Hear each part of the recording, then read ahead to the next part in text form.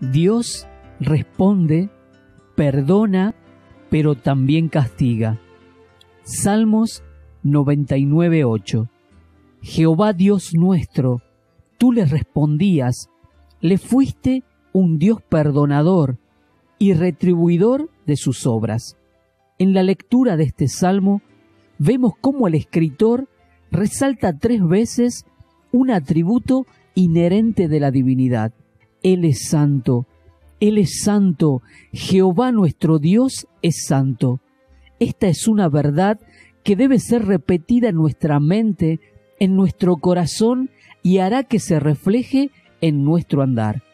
Primera Pedro capítulo 1 versículo 15 dice, Como aquel que os llamó es santo, sed también vosotros santos en toda vuestra manera de vivir. Dios nunca nos pedirá hacer algo para lo cual no nos ha capacitado. La historia de Israel está regada por la fidelidad de Dios. Al ser levantado el tabernáculo en el desierto, Dios le estaba enseñando a Israel que Él es santo y les mostró la forma de cómo debían acercarse. Y aunque fallaron, Dios se mantuvo fiel. El texto de hoy nos muestra esa fidelidad en la historia de Israel, como así también en nuestra propia historia, al señalar tres cosas que Él hace. Primero, Él responde.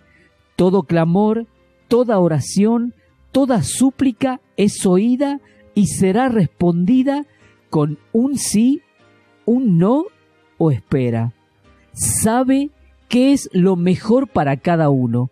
Solo debemos estar dispuestos a aceptar su decisión. Segundo, Él perdona. Esto es maravilloso, único, nos libera de la culpa, nos da la oportunidad de comenzar de nuevo, de poder hacer las cosas bien. Tercero, Él castiga no es algo que nos agrade, pero tiene el propósito de corregir, de hacernos volver del mal camino.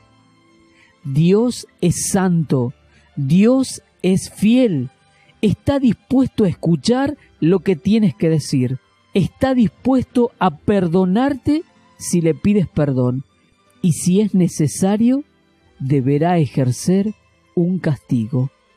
Todo esto tiene como fin bendecir nuestras vidas.